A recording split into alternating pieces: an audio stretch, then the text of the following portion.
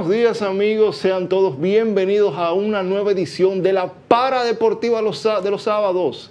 Grandes Ligas TV, recuerden, todos los sábados estamos de 11 de la mañana a 12 del mediodía por Voz Media Network, canal 85 de Claro y Win TVO. Y la repetición por el canal de YouTube de esta misma plataforma. Así que si usted tuvo que hacer una diligencia, o se tuvo que mover al interior del país, o tuvo que hacer un viaje fuera del país, no importa.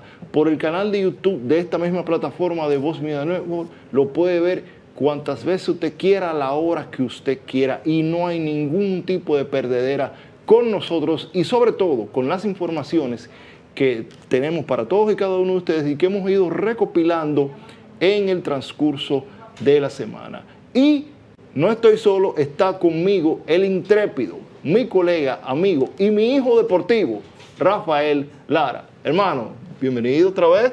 Bienvenido, saludos, bendiciones. Para mí más que un honor, un privilegio estar aquí hoy, sábado 28 de septiembre, temprano, para recibir las noticias más frescas del ámbito deportivo. Y nada, estamos aquí ready, siempre dándole gracias a Dios por todo, por el privilegio de estar aquí compartiendo con ustedes que están desde su casita, ya sea del teléfono, de la tablet, del televisor, de cualquier dispositivo que se esté transmitiendo y claro, recibiendo internet. Exactamente, no, ya tú lo dijiste todo, hasta en tablet, celulares, no pueden ver, desde ahí no hay problema. Lara, ya tenemos equipo, eh, la semana pasada dijimos que tenemos equipo de Grande Liga ya clasificado, ¿verdad? Sí. Entonces, los Yankees ya clincharon su pase a, los playoffs. Pero también clincharon su título divisional del este de la Liga Americana. Ya los Yankees están completos. Ahora van a sentarse a esperar su rival en la serie divisional de la Liga Americana. Abúndame un poquito de eso. Sí, claro, como acabas de mencionar, el equipo de los Yankees de Nueva York vuelven a alzar el balderín del este. Eh, en el 2023 los Orioles. La última vez que los Yankees los alzaron fue en el 2022 un equipo que para nadie es un secreto, depende mucho de Aaron Judge y Juan Soto.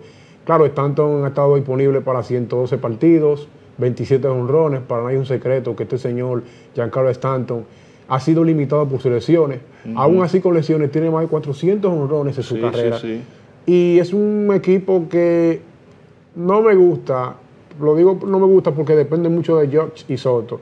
Hay un Torres que los fanáticos están al grito. Hay un verdugo que los fanáticos están a grito. Hay un DJ Lameyu que lo quiere mandar a vacaciones los fanáticos.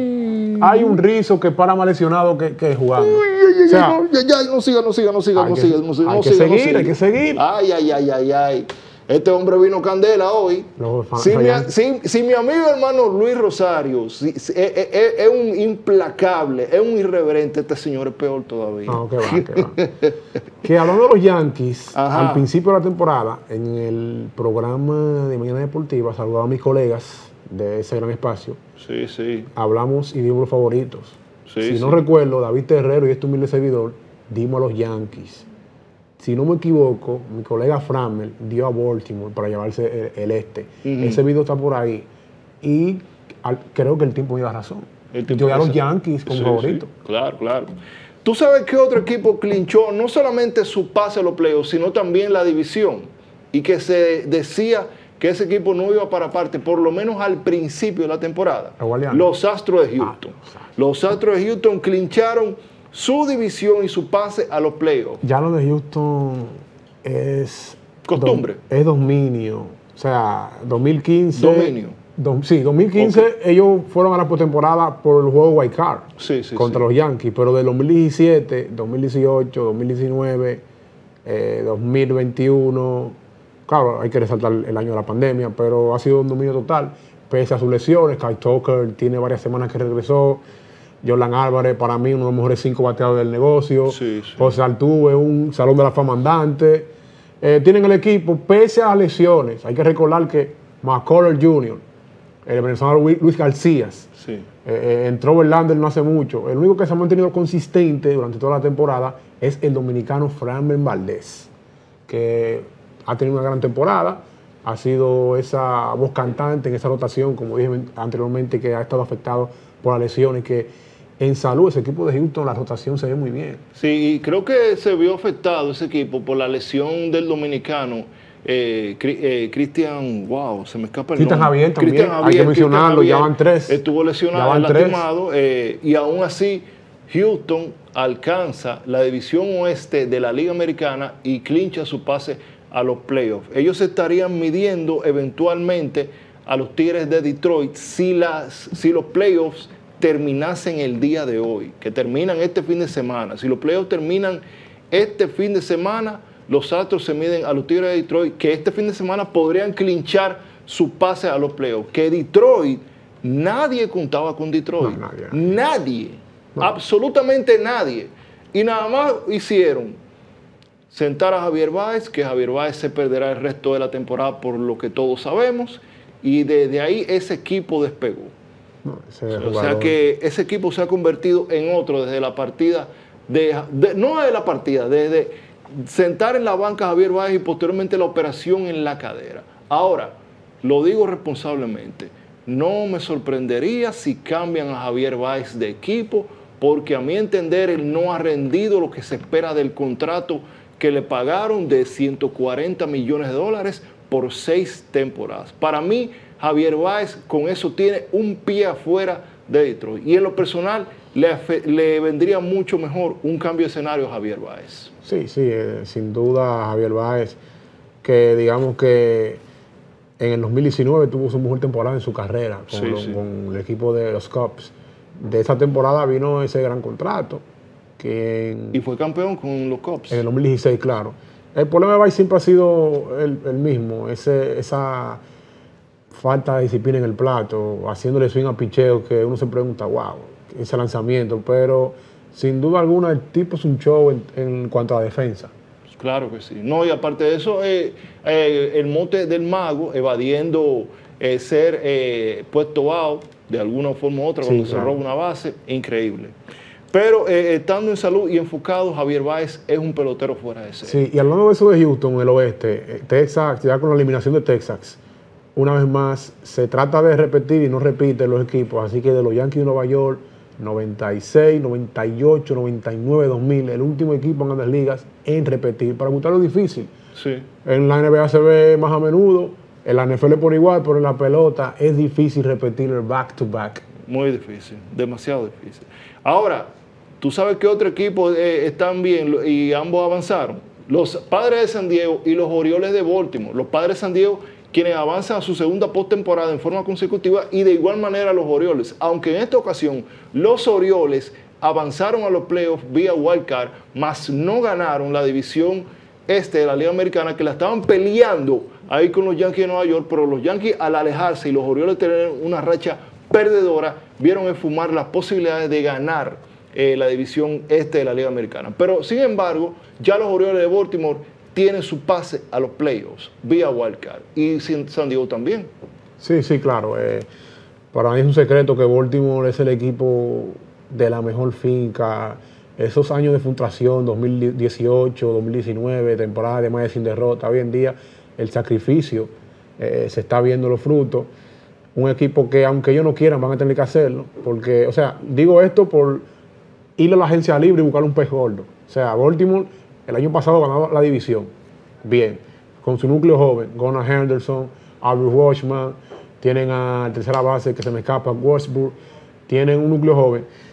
Pero ya, o sea, eh, el, el nivel de competitividad te va a obligar a buscar un pez gordo a la agencia libre. Ellos quieren, Baltimore está tratando de llegar lejos, de llegar a una serie mundial con su equipo joven y algo que pueden lograr, pero ellos van a tener que buscar algo en la agencia libre para llegar lejos. El año pasado ganaron más de 100 juegos y se quedaron cortos. Yo pienso lo mismo. Para mí los Orioles de Baltimore en esta agencia libre que va a venir luego de finalizar esta temporada irán detrás de un pez gordo. Y no me sorprendería que sea de un rival directo de la división este de la Liga Americana.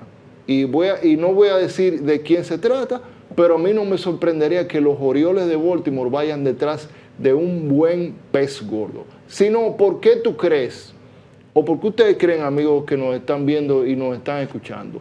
¿Por qué ustedes creen que los Orioles no han invertido mucho dinero en la agencia libre y solamente se han dedicado a, re- a- a subir peloteros de su misma finca y a tener mucho. poco agente libre? ¿Por qué ustedes creen que es eso? Confía mucho en su finca. Hay un, hay un holiday Jackson Holiday, hijo de, Sí, de Matt de Holiday. Holiday, sí, sí. Tienen claro. a Bosworth, que es jardinero. Gunnar Henderson. Gunnar Henderson es una crema de pelotero. Mullins. Sí, Mu- Mullins es de los veteranos, con Sí, Santander. sí. Sí, pero sí, sí. los Orioles le hicieron bien en la temporada muerta. Llevaron a Kobe Burns, un ex Young, eso está bien. Pero el nivel de competitividad le va a obligar a buscar un pez gordo. Vamos Claro. a ver cómo, cómo termina la actuación en postemporada. Eso, Claro. va, eso va a influir. Si llegan lejos o si se van a la divisional como el año pasado, guarden esto por ahí. Si los Orioles no llegan lejos y se van a la serie divisional o Wildcard, que van por el Wildcard, ellos van a entrar un pegorlo porque ellos quieren seguir compitiendo y estos jugadores van a llegar al año, al año que viene con un año más de experiencia y van a mejorar más. Porque eh, eh, Henderson en su segundo año está teniendo un tremendo año y ya rompió el récord de más honrones para un campo corto de los Orioles, superó a Miguel, Tejada y eh, Carl Ricken, ojo, de una temporada, más honrones en una temporada. Ya anda por los 37, 38 honrones ese muchacho. Claro que sí. A mí no me sorprendería que Baltimore vaya detrás de un buen pez gordo, con el que pueda hacer, hacer un equipo alrededor de ese pez gordo y competir hasta para hacer una opción de serie mundial y, y ser campeonable. Claro. Pero hay que darle tiempo a ese equipo de los Orioles de Baltimore. Ahora, eh, también otro equipo, pero que no hay que darle tiempo y que lamentablemente llegó su ciclo, porque hay una salsa de Héctor Lavoe. Y me dicen que por ahí tú eres salsero, además de que eres bachatero también. Me gusta la bachata. Exacto, sí, sí, sí. Pero hay una salsa de Héctor Lavoe, del maestro Héctor Lavoe, que en paz descanse, que dice, todo tiene su final y nada dura para siempre. Y así fue el final de los Atléticos que se despiden de sus fanáticos en Oakland luego de casi seis décadas con ese estadio, el Coliseo, con capacidad de albergar eh, a más de 30 mil fanáticos y que lamentablemente por razones económicas y de que no estaba recibiendo el apoyo debido de los fanáticos en los últimos 20 o 30 años, se ven obligados a mudarse de equipo y de franquicia, el cual, la cual será en Las Vegas y estaría construyendo un estadio, el cual estaría listo para el 2028, si la memoria no me falla. 2027. 2027, o sea, en dos años. Sí, sí, eh, otro, otro equipo de esta ciudad afectado se une a los Warriors de Golden State, que hasta Sí, el 2020 estuvieron en Oracle Arena. Antes de que tú sigas, ¿qué es lo que tiene esa ciudad que lamentablemente Bueno, los equipos de, los de- de equipos deportivos no se están yendo? Porque ahora se va a Oakland, luego se, eh, pero, primero, pero primero se fue a Golden State. ¿Y qué? Yo no Sí. entiendo. El equipo de Golden State, luego de esa final con Toronto en el 2019, ellos se fueron al Chase Center de San Francisco, cruzaron el puente. O sea, El una equipo- cruzadita, vamos a cruzar el Claro, puente. los Riders, los Riders, la NFL también de Oakland, se mudaron al otro lado y eh, eh, ya tienen varios años, en el 2019 lo hicieron también, y los Atléticos de Oakland se repite la historia en la ciudad de Oakland, cruzando el puente, así como decimos como buen dominicano, después del puente. Así Exacto. está, los Warriors están cerca, en, verdad, porque los Atléticos van a jugar en un equipo de Liga Menor de Sacramento. Sí, sí, sí. Pero- o sea, ellos van a compartir ese estadio. Sí. Oigan esto, señores. Sí. Van a compartir el estadio. Pero los Riders están en Las Vegas, pero el que está más cerca de los tres equipos es lo- lo- los Warriors. Los Riders, perdón, están en Las Vegas, los Riders en la NFL, pero los Warriors están ahí mismo al cruzar el puente ahí en San Francisco, el Chase Center, que ya celebraron el título de 2022. Recuerden que los primeros tres títulos, 2015, 2017 y 2018, los Warriors los celebraron en el Oracle Arena, los Warriors de Golden State de Stephen Curry. Bueno, es así eh, y además se cumple un ciclo en, ese, en esa ciudad de ese equipo eh, que albergó figuras en su momento en los 80 como los de Eckerly, Ricky Henderson. Henderson, José Ahí Canseco. Maguire. Sí, sí, eh, eh, Mark Maguire también. eh, en su momento. Barricito, Sayón. Barricito. ¿O no eh, fue, no fue en, San Francisco? ¿No lo van en no, no, no, eh, en, en, en Oakland fue. El polémico Sayón, porque ese Sayón dio de qué hablar. Sí, sí, sí, que, que se lo dieron a Pedro Martínez con toda la buena temporada que tuvo Barricito. Pero bueno. Eh, también decir que estuvieron dominicanos como Luis Polonia, eh, Sí. Félix José, el mismo Miguel Tejada estuvo ahí. El año de MVP fue- de 2002. Exacto, que fue inducido al Salón de la Fama de esa Hace par de franquicia. semanas, sí. Hace par de semanas atrás. Y muchas otras luminarias que desfilaron por esa franquicia los Atléticos de Oakland, que en un momento en los 80 y principios de 1990 llegaron a tres series mundiales, de las cuales ganaron dos. Eh, bueno, de la cual gana- ganaron una, porque llegaron en el 88 ante los Dodgers, perdieron. En el 89 ante los Gigantes de San Francisco, ganaron. Y en el 90 ante los Rojos de Cincinnati, barridos por los Rojos de Cincinnati. Y el MVP de esa serie fue el, nuestro José Rijo. Así que una larga trayectoria para ese equipo de los Atléticos de Oakland que culmina un ciclo en ese estadio del Coliseo, eh, estadio que fue por muchos años eh, la casa de los Atléticos de Oakland. Y siguiendo también con los temas de grandes ligas, pero señores, Otani, bueno, no, Otani no, el que agarró la bola del jonrón del 50-50 de Shohei Otani, ahí ustedes la ven en sus pantallas, eh, se podría hacer, o esa pelota podría valer, ¿saben cuánto? 4.5 millones de dólares. Una caballá. Una caballa. caballa. Una caballa. Son, son Pero, pero, pero cualquiera que sea una caballa como esa, 4.5 millones de dólares. me, retiro, ¿eh? me retiro de la crónica ahí mismo. Y, y se va a decir que, que- Me retiro ahí mismo de la comunicación. y, y- y se va a vivir tranquilo en la bella y por un negocio. Ya me retiro ahí mismo. Me retiro ahí mismo. Háblame de eso. 4.5 millones de dólares puede valer la pelota de ese señor que ustedes ven en su pantalla. Bueno, yo estoy sorprendido por un lado, porque, wow, Ajá, es, es un récord, es una hazaña de una temporada. claro que sí. Quizá. Y que nadie había hecho. Claro. Nadie había hecho. Porque me pregunto a veces también, eh, eh, wow, ¿cuánto, ¿cuánto valdría, cuánto valió la pelota de Jordan 700 de Pujol? ¿Y cuánto valdría la, la, la del honrón 756 de Barry Bonds? Sí, porque ahí estamos hablando de, de- de un hito histórico. Ya eso es de más peso, pero también es impresionante. Es de una temporada. Pero es, primera vez que Otani lo hace, pero no dudo de que aparezca otro fenómeno. No tiene que ser que batee y lance como Otani, no. Pero no dudo que aparezca otro fenómeno. Un joven con una buena combinación de poder y velocidad, que haga un 50-50 en los próximos años, puede aparecer. Y más con estas reglas del viraje de la base robada, Claro. que le favorece a ellos. Sin Mira- restar el mérito a Otani, sin restar el mérito. Mira, la tiene la información de que esa pelota podría valer esa cantidad de dinero de 4.5 millones de dólares.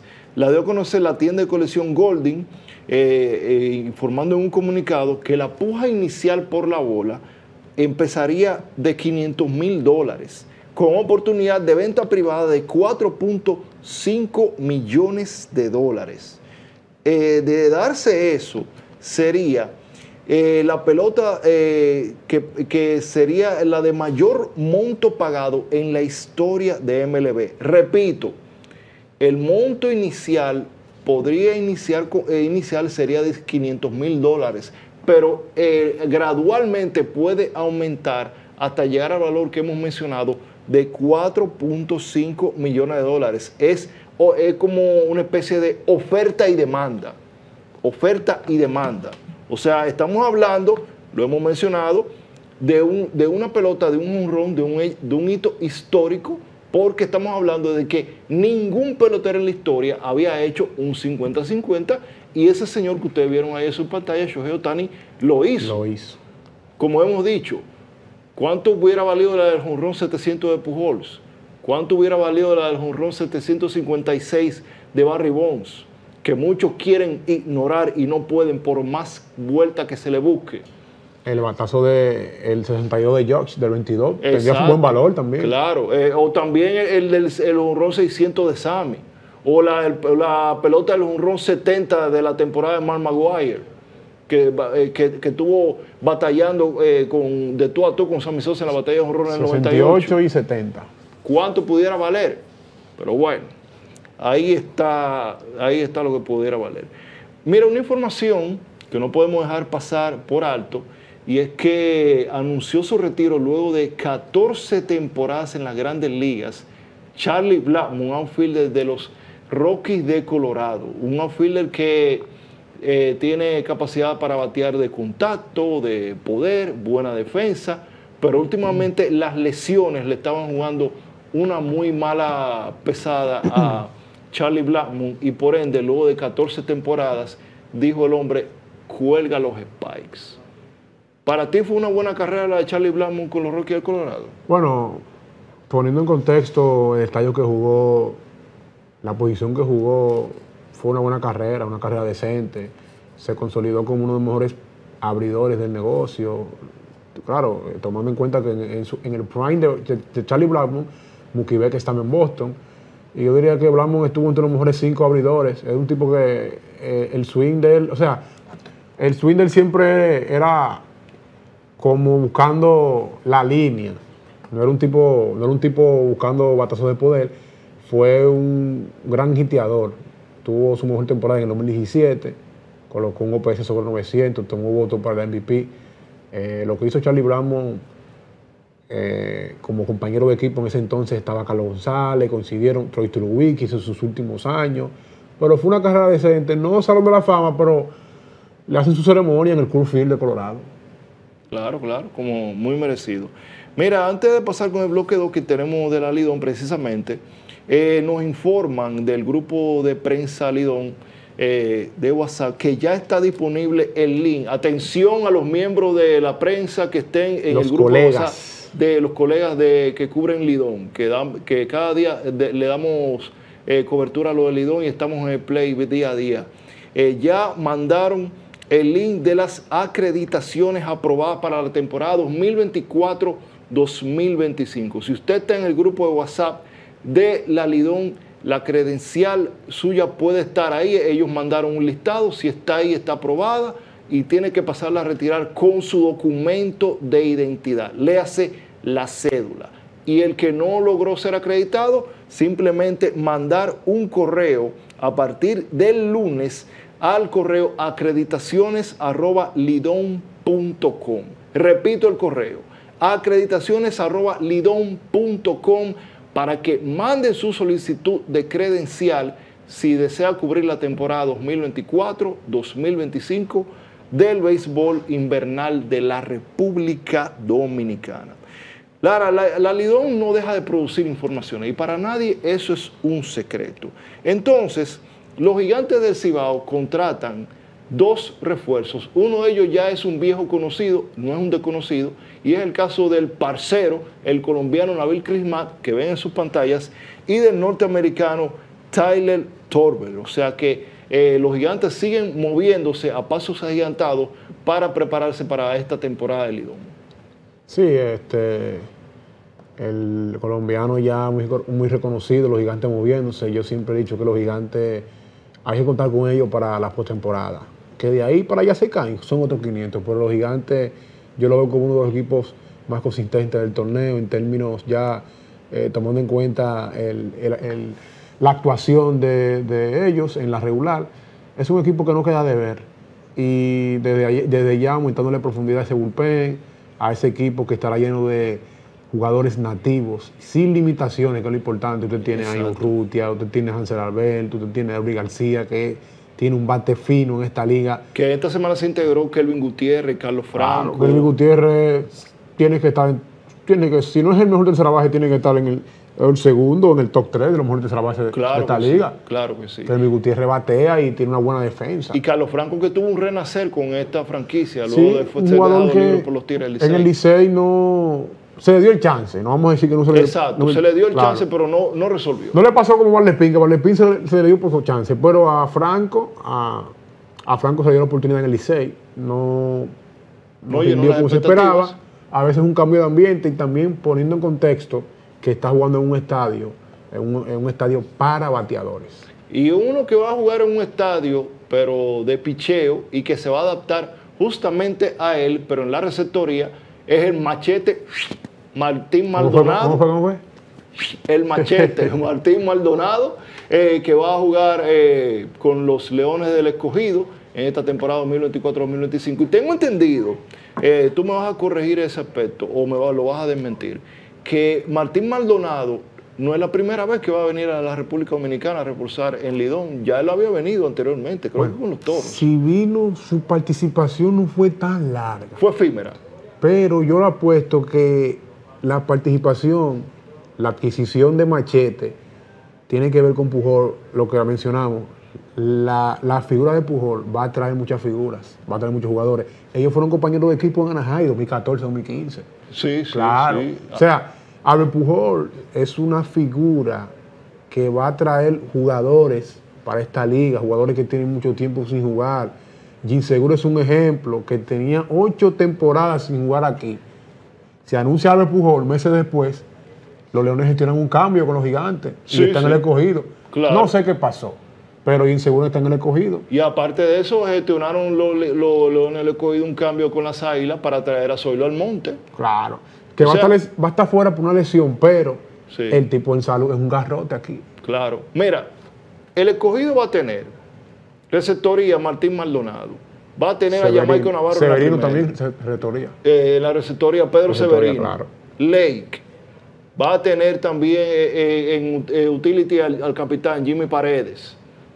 Va a tener también al mismo Jim Segura. Está por ahí Calixte. Caliste. Hay un, asunto, hay un asunto con el béisbol, con el béisbol asiático, pero Sí, sí, Calixte eh, puede ser que juegue. Claro que sí. Que vi, vi por ahí como que Héctor Rodríguez, el novato del año, como que el permiso, bueno, eso me lo preguntaron unos fanáticos, unos amigos eh, fanáticos para saludarlo también a mi gente de, de la Manada Roja, que son mis, mis amigos Newton, Sí, sí. yanquista. Ey, Sí. Newton, amigo mío, ese, Sí, sí, sí. Él me preguntó que qué tan cierto es que Héctor Rodríguez eh, tenga permiso o no, pero como nuestro trabajo es ese, Claro. vamos a tratar de ir a las prácticas de los Leones a buscar la información sobre este joven novato que para mí es un secreto, inyectó explosividad y dinámica en el line-up del escogido. Claro que sí. O sea que a, a los fanáticos rojos no se nos desesperen, que vamos a estar indagando informaciones para ustedes ¿Qué tan de los Leones del Escogido. ¿Qué sí. tan cierto podría ser eso?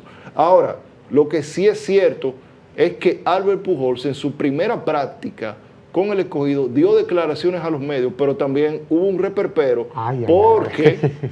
y lo vamos a decir responsablemente y sin ánimos de criticar a la gerencia de los Leones del Escogido, pero se dijo inicialmente que Pujols daría declaraciones a los medios luego de las prácticas lunes y viernes.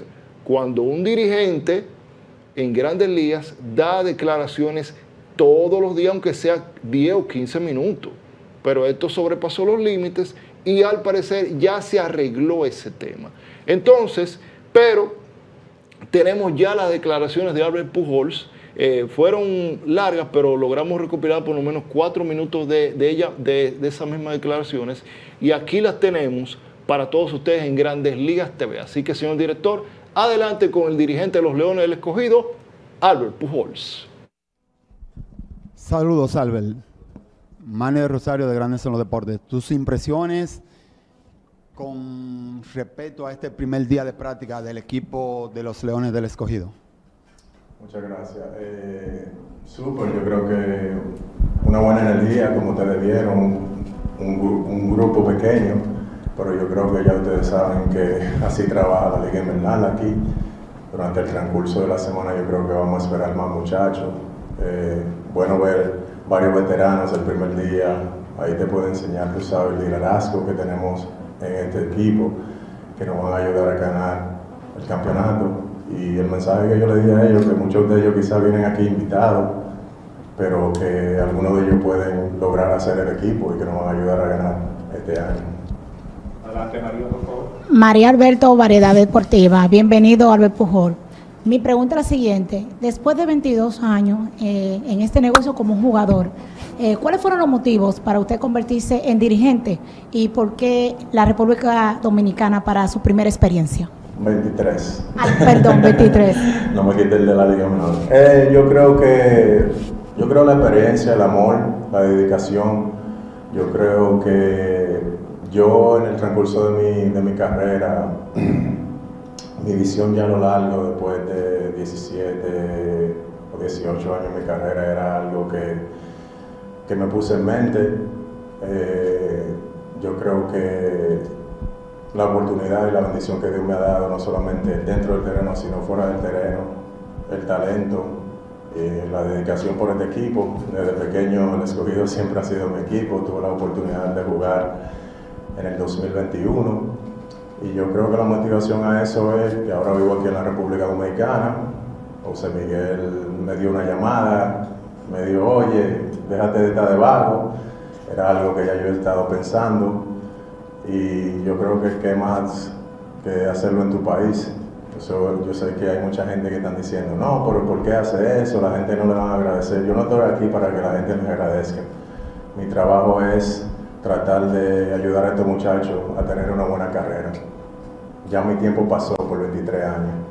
Ahora mi tiempo es tratar de ayudar a cada uno de ellos. Yo creo que tenemos mucho talento aquí en la República Dominicana, en este equipo.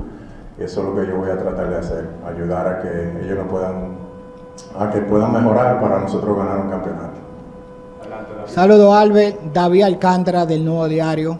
Dos preguntas. La primera es, jugaste en el 2022, fue la última vez. Háblame, y ahora vas a dirigir a, los Leones. Háblame de ese cambio, qué tanto va a cambiar la mentalidad, la experiencia que va a transmitir. Y la otra es, hace un año conectaste el Hongrón 700 eh, en el Dodger Stadium. Cuando llegaste al home, saludaste a una persona, me gustaría saber por qué y a quién y qué sentimiento encontraste ese día. Bueno, yo creo que para mí el compartir esa noche, voy a ir con la segunda, voy a comenzar con la segunda, compartir esa noche con Adrián Beltré, que estaba ahí, que ha sido una persona que, que lo ha respetado, su carrera, no solamente el ejemplo dentro del terreno, sino fuera del terreno, eh, compartir con él también el terreno. Y esa noche yo creo que, que fue una noche histórica, eh, no solamente para mí mi familia, y la gente que estaba en el partido, pero yo creo que para, para nuestro país, la República Dominicana también. Y esa fue la primera persona que, que quería compartir en ese momento.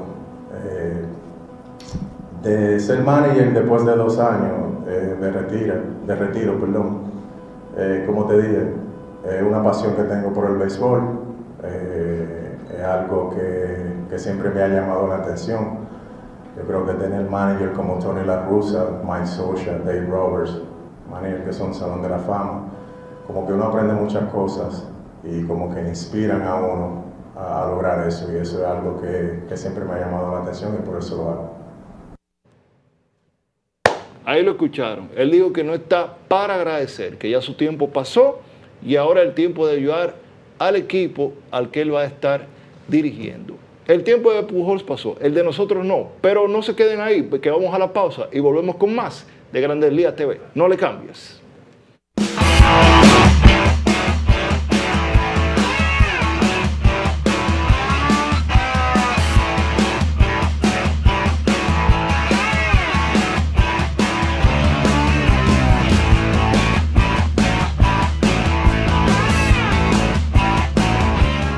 Inicia tu día actualizado con el programa matutino más completo de la televisión dominicana. Voz Matutina, información actualizada y un enfoque imparcial en temas políticos, económicos y sociales. Comienza tu día de la mejor manera con Voz Matutina. Vívelo por Voz Media Network.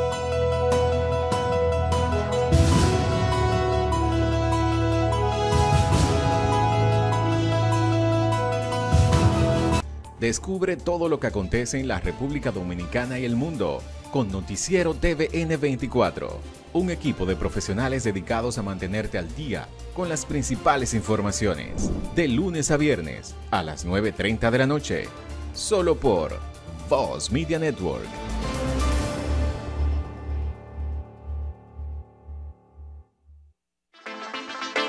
Voz, Canal 85.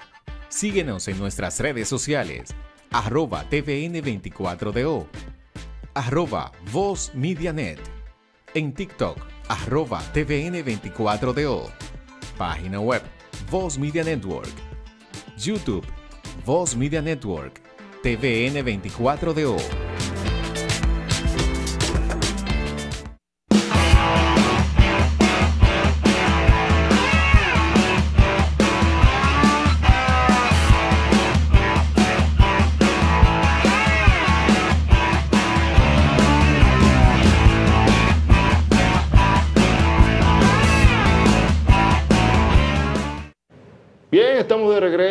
De regreso una vez más en Grandes Ligas TV. Recuerden que esto es Voz Media Network, canal 85 de Claro y Win TVO y la repetición por el canal de YouTube de Voz Media Network. Rafael Lara y un servidor, Adán Soriano, con ustedes en la para deportiva de los sábados. Y continuando con informaciones de la Lidón, otro que conversó con los medios, específicamente con la joven periodista Delany Jiménez, una promesa de la crónica deportiva y tengo entendido que es que suya personal, mía personal también. Mi amiga, mi amiga, mi amiga. Ella conversó con el prospecto de los Phillies de Filadelfia y primer pick de los Tigres del Licey, Starling Cava. Así que vamos a ver qué le dijo Starling Cava a Delany Jiménez en los campos de entrenamiento de los bicampeones nacionales, los Tigres del Licey. Adelante, señor director. Entrevista a Starling Cava, primer pick elegido por los Tigres del Licey. Starling, ¿cómo te sientes? Súper bien, gracias a Dios. Para mí es una oportunidad que los Tigres del Licey me hayan dado. Eh, como decía, eh, un equipo con muchos peloteros de mucha experiencia. Para mí es algo grato porque básicamente estoy comenzando mi carrera y, ¿qué te digo? Ha sido muy bonito todo día aquí. Qué bueno. ¿Y cómo ha sido la armonía? ¿Cómo has visto la armonía del equipo de los Tigres del Licey desde el día uno de los entrenamientos? La vibra, la química, todo excelente desde que llegué eh, como familia. Eh, aquí somos una familia todos. ¿Qué puede esperar el público que te sigue aquí y allá de Starling Cava en esta temporada? Solo digo que sigan confiando y vengo de los Phillies metiendo mano este año, entonces vine aquí a hacer lo mismo que hice allá, no puedo cambiar y esta es una oportunidad que me están dando. Escuché que eres sangre azul, escuché los comentarios. Cuéntame sobre eso. Desde chiquitico yendo para el play, ¿sabes? Con mi gorrita azul. pues muchas gracias. Aquí estuvimos conversando con Starling Cava, primer pick de los Tigres del Licey. Gracias, Starling. Bueno, ahí lo escucharon, el muchacho sangre azul de pequeño, Starling Cava, primer pick de los Tigres del Licey. Y tengo entendido que él, él firmó por una suma bien alta cuando fue prospecto de los Phillies de Filadelfia. Así que pongámosle el ojo a ese muchacho Starling Cava en caso de que se le dé el chance para jugar en esta temporada. 50 eh, 50 bases. La menor, claro, claro. Tiene velocidad. Yo le pregunté que esa, eh, o sea, las expectativas de esa dupla con Bonifacio, que le van a sacar provecho. Claro. Porque están jugando, van a jugar en un estadio que es para, o sea, es de picheo como es un estadio complicado para conectar la batajo de poder, estos jugadores tipo Bonifacio, este joven que se robó 50, le va a sacar provecho el dirigente Gilbert Gómez y No, y de hecho Odo Vicente se ha enfocado en hacer contrataciones de jugadores que se basen, que corran eh, en las bases y eso, que sean aplicados, que sean elegibles para jugar los fundamentos, que eso es lo que importa. Y hablando del Licey, eh, Anderson Severino y Lisandro Santro, dos eh, lanzadores zurdos que estaban en el mercado de la agencia libre, son las nuevas contrataciones de los Tigres Licey. Anderson Severino, que no es un desconocido, él accionó casi toda su vida con los Leones del Escogido, reforzó al Licey en la temporada 2016, 2000, no, no, 2022-2023, que fueron campeones. Eso fue en el round robin. Y luego el escogido lo cambia a las Águilas. Entonces las Águilas en la agencia libre lo dejan libre y lo contrata el Licey. Quiere decir que literalmente Anderson Severino regresa al equipo que reforzó en la temporada 2022-2023. Y Lisandro Sandro, un zurdo efectivo, eh, que puede hacer el trabajo en el bullpen de los Tigres Licey. Eh, estas dos nuevas contrataciones, eh, Rafa, háblame de eso. Sí, sobre todo Severino, que yo los conozco. zurdo situacional, zurdo con una reta pesada. Esas retas en el séptimo, octavo episodio pesan y como dije, Gilbert Gómez le va a sacar provecho a estos jugadores. Es bueno tener zurdos en esta liga de situación. Claro, ya la regla de. O sea, ya hay una regla que, son tres bateadores por obligación. Antes te sacaba un derecho, metía el zurdo, traía ya no. Pero esta contratación me gusta, sobre todo Severino, que tiene más experiencia y más lanzando en este parque. Como dije anteriormente, tiene una buena bola rápida. Es cercano, yo lo he visto él es amigo de mi primo Weismer Lara, que quiero saludarlo, Weismer Lara, y ellos practicaban juntos en, el estadio normal. O sea, él es de aquí del entorno, él no es, se deja ver y él es muy disciplinado como jugador de, de béisbol y siempre mantiene practicando en el estadio. No, y muy decente que le. Yo tuve la oportunidad de entrevistarlo en otras ocasiones y además son dos lanzadores de esta liga que no van a tener ningún tipo de restricción. O sea que Elisea ahí no va a tener ningún tipo de problema en esas contrataciones. Ahora, supe que usted se trasladó hasta Boca Chica, el campo de entrenamiento de los Tigres Licey, y conversó con el mandamás de la gerencia de los Tigres Licey. Me refiero al gerente general Audo Vicente. Así que vamos a ver qué le dijo el gerente de los Tigres Licey, Audo Vicente, a este servidor Rafael, Lara en los campos de entrenamientos de los bicampeones nacionales, los Tigres, Licey. Adelante. Saludos amigos, bendiciones. Rafael Lara de la Deporte, nos encontramos en las instalaciones de Baseball City, en los entrenamientos de los bicampeones Tigres del Licey, nos encontramos con el gerente WC campeón Audo Vicente. Audo, ¿cómo estás en segundo día de la práctica del equipo azul? Contento de verdad, gracias a Dios. Eh, un segundo día que culmina eh, de manera exitosa, siguen integrándose eh, nuestros talentos jóvenes. Hoy tuvimos la nueva eh, integración de tanto Ortiz como eh, Cristian Hernández, dos picks importantes para nosotros, todos jóvenes con bastante talento. Hicimos sesiones de bullpen ya con los muchachos más veteranos, pero seguimos avanzando, gracias a Dios. Bien, primero que todo quiero felicitarte por el gran trabajo que ha hecho en esta liga complicada, hacer esa transición de dirigente a gerente, sobre todo un equipo de tanta historia, de tanto peso como Licey y en este puesto como, como gerente, doble vez campeón, la clave para tener éxito en una liga tan competitiva y un equipo tan tradicional, tan histórico como los Tigres Licey. Gracias, mira, el, éxito lleva muchísimas cosas, o sea, es un conjunto de varias eh, vertientes, pero yo creo que nosotros primero tenemos la gracia que Dios nos permite eh, eh, lograr lo que hemos logrado hasta el momento. Tenemos un grupo de trabajo que ustedes me ven a mí, pero en realidad somos muchos los que trabajamos en operaciones para que esto al, final del día funcione, un cuerpo técnico que cada día trata de sacar el máximo a sus jugadores, una directiva que nos dé el apoyo en todo lo que nosotros hemos solicitado hasta el momento también, nunca hemos tenido un no, una fanaticada que apoya a su equipo. O sea que para tener éxito yo creo que la disciplina, eh, la ética, eh, la entrega son, son cosas fundamentales. Excelente. Sus impresiones con Vela Stalin Cava, su primera selección, integrándose al primer día con, la, con el equipo azul. ¿Cómo va la conversación con el equipo Filadelfia, con relación a Stalin Cava? ¿Podríamos verlo a menudo en esta temporada? Sí, Cava, está aquí desde el día uno, no tenemos ninguna limitante hasta el momento, eso puede cambiar, no digo que, que sí ni que no, pero hasta el momento no la tenemos. Es un joven de una defensa impresionante, con instintos, como yo dije en el draft, eh, muy, muy por encima, diría que plus o élite. Eh, su poder va a llegar según él vaya madurando, pero tiene una habilidad altísima de envasar, de reconocer la zona y eso es lo principal para un buen bateador. Este juego trata de quién envasa más y quién se hace menos out y eso es algo que él puede dominar. Ojalá eh, su organización le siga dando la oportunidad de ver este ambiente, porque esto es un crecimiento para esos muchachos jóvenes. Y si ya se da la oportunidad de que él pueda ver acción en un juego, ojalá poder nosotros tener esa oportunidad de verlo jugar este mismo año, de verdad que será bien placentero para nosotros. Su experiencia, trabajar con Giver Gómez, tanto usted como él, eh, una dupla de, dirigente y gerente joven en este, en este torneo que han tenido éxito ya de inmediato. Bien, yo creo que lo he dicho siempre, Gilbert es un, joven eh, que me recuerda mucho a mis inicios. Eh, creo que Gilbert se prepara mejor que yo en, épocas diferentes porque he tenido la oportunidad de verlo y, de verdad que su preparación para el juego es bastante eh, impresionante.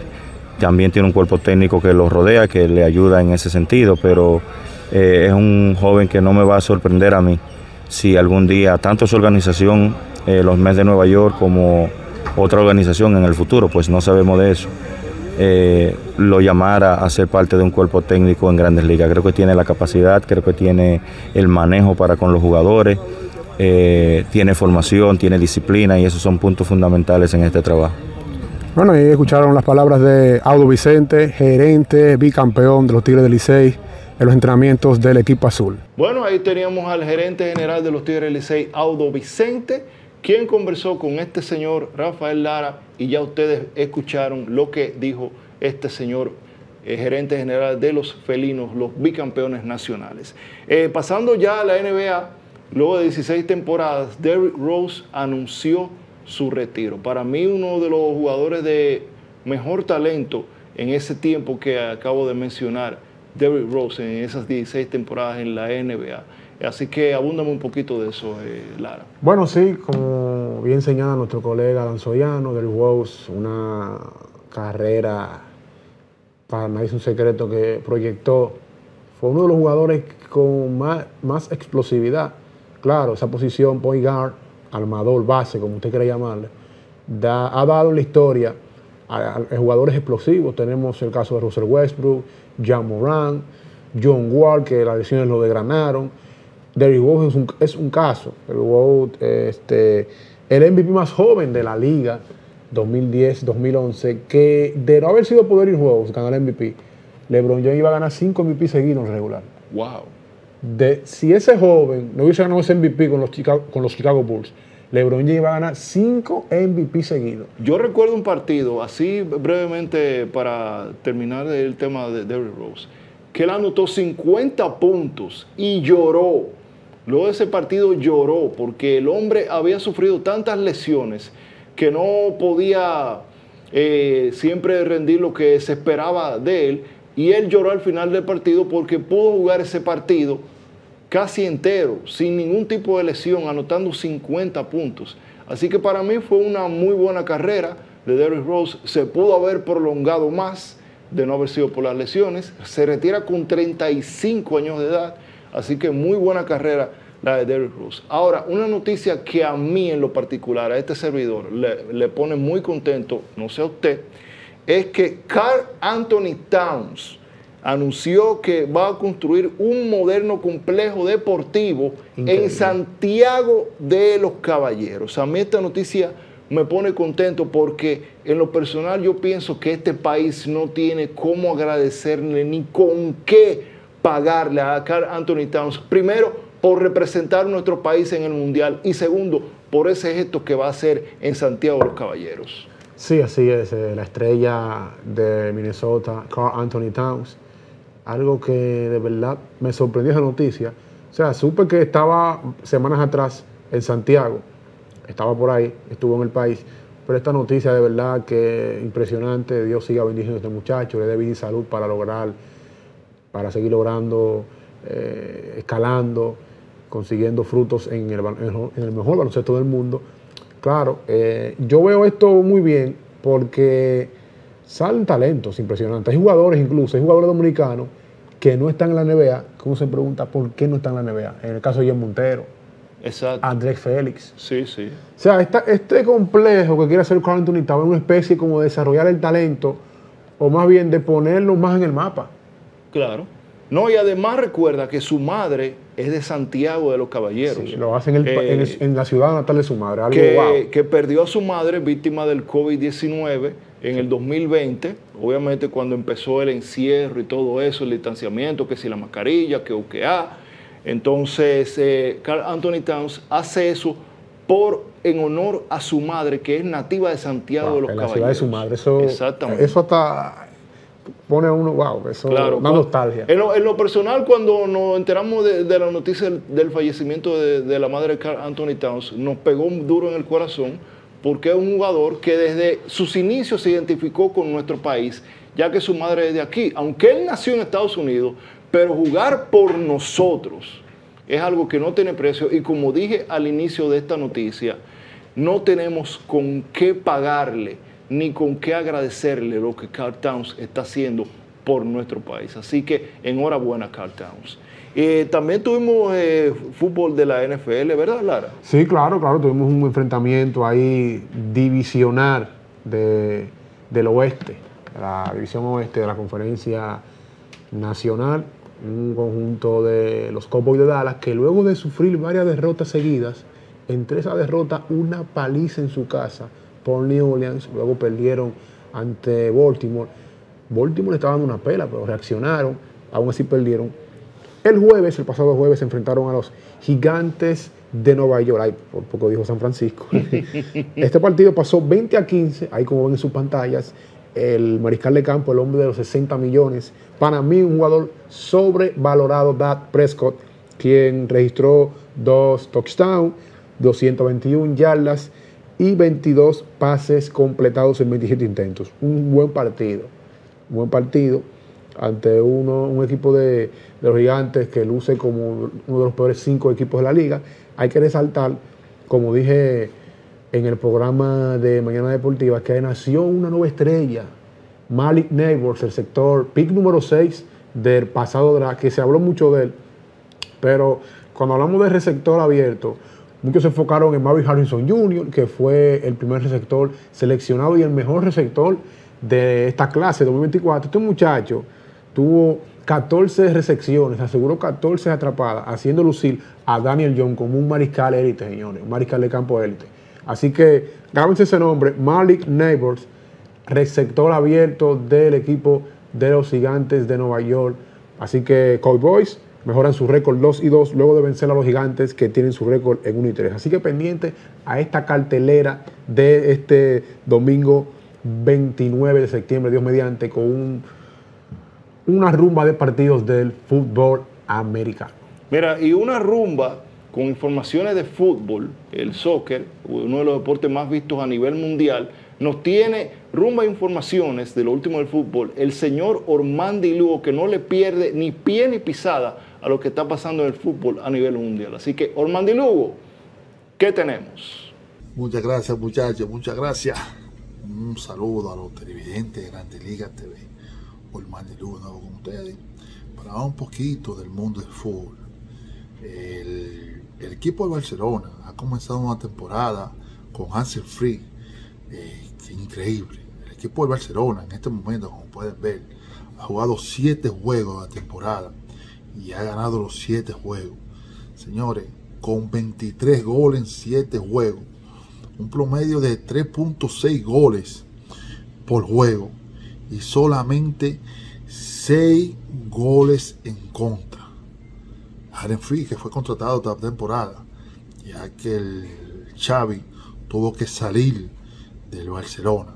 Barcelona que su máxima estrella es el señor Yamil Amal, con apenas unos 17, 18 años. El señor, el señor, el joven está haciendo eh, de las mejores de las mejores eh, temporadas hasta el momento. Barcelona está en primer lugar, el Real Madrid y Villarreal vienen atrás. También tenemos que hablar de las lesiones ha visto unas cuantas lesiones en este comienzo de temporada. El Barcelona seleccionó Malta Terger por la temporada entera, señores. Una, base sensible para el Barcelona. El Barcelona está buscando unos cuantos porteros a ver quién puede ir. A ver si es Keylor Nava o Schachter que tienen, pueden ir a ese equipo. También tenemos que Rodri del Manchester City eh, está lesionado también la temporada entera. También seleccionó un jugador Kylian Mbappé. Las próximas tres semanas, Kylian no va a estar eh, con el Real Madrid, una base sensible. También Dani Olmo de Barcelona, el fichaje estrella que tuvo Barcelona en este descanso eh, de, verano, está lesionado también por unos cuantos días. También el Arsenal, Marty Odelba, también está lesionado por unos cuantos juegos. Ya lo sufrieron en el empate con el City la semana pasada, uno a uno, donde tuvo que jugar 45 minutos con un hombre menos. Y en el minuto 96 vino el gol que le dio el empate al City. Eh, también tenemos que esperar también el 28 de este mes de octubre, el mes que viene de octubre, para el balón de oro todo indica que el ganador será el señor Vinicius Junior de Real Madrid. Vinicius Junior que ganó Champions, eh, ganó la liga y tuvo muchos goles con el Real Madrid. Vamos a la semana que viene, mientras va acercando los días, vamos a hablar un poquito del balón de oro, quiénes son los finalistas, quiénes creemos que va a ser el gol, el gol del año, el María del año. Y vamos a estar siempre con ustedes manteniendo informados sobre el mundo del fútbol. También el equipo de River de Argentina pasó a semifinal de la Copa Libertadores.